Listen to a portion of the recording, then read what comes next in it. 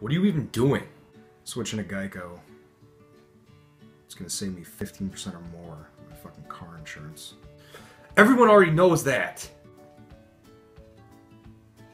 Does everyone know you're a fucking jerk?